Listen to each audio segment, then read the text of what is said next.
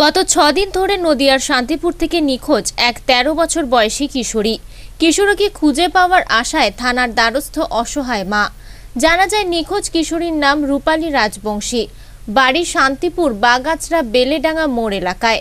নিখোঁজ কিশোরীর মা সরস্বতী রাজবংশীর দাবি, গত ছদিন আগে বাড়ি থেকে মামার বাড়ি যাওয়ার নাম করে বেরিয়ে যায় ওই কিশোরী।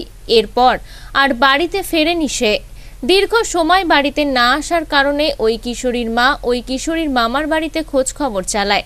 কিন্তু সেখানে যায়নি ওই কিশোরী। এরপরেই হতবাক হয়ে পড়ে ওই কিশোরীর মা।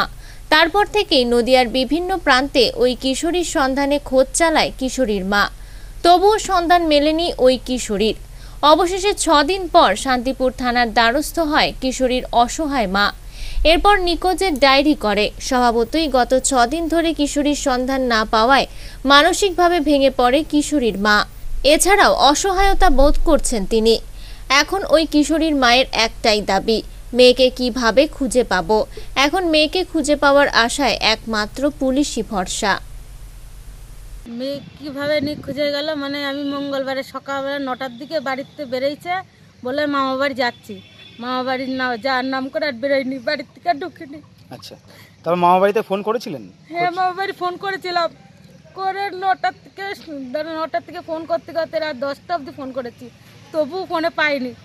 তারপর মাসি বাড়ি মামা বাড়ি সব জায়গায় ফোন করেছি। সব জায়গায় খুঁজেছেন পাননি? ফোন ফোন করে রানাঘাট অবধি গেছে। রানাঘাটেও ডায়েরি করে এসেছি তাও পাইনি। দিয়ে সেই কি যে লাস্ট স্টেশন বলে সে স্টেশন অবধি গেছি কোথাও পাইনি। কি নাম মেয়ের? মেয়ের রূপালী রাজবংশী। বয়স কত? তেরো বছর বয়স। পড়াশোনা করতো? পড়াশোনা বলতে কোনো রকম একটু নিজের স্কুলের নামটা বলতে পারে। আচ্ছা। তাছাড়া কিছুই বলতে পারে না। আচ্ছা বাড়ি কোথায় আপনাদের? বাড়ি আমার বাগচির বাগানে। তো এখন তো বাগচির বাগান এখন আমার বেলডাঙ্গার মোড়। আমি নতুন- বাগাছড়া বেলডাঙ্গা মোড়? হ্যাঁ বাগাছড়া বেলডাঙ্গার মতো ওখান থেকে মেয়ে চলে এসছে। আচ্ছা এই কদিন হয়েছে? মেয়ে মেয়ে হারিয়ে গেছে? মেয়ে হারিয়েছে ছ দিন। আচ্ছা আজকে থানায় এসেছেন? হ্যাঁ আজকে থানায় এসেছি। কি চাইছেন এখন? থানায় চাইলে চাইছি যে আমার মেয়েটা নিখোঁজ হয়ে গেছে যাতে আমার মেয়েটা খুঁজে পাই নদিয়া থেকে মাধব দেবনাথের রিপোর্ট আনন্দ বার্তা।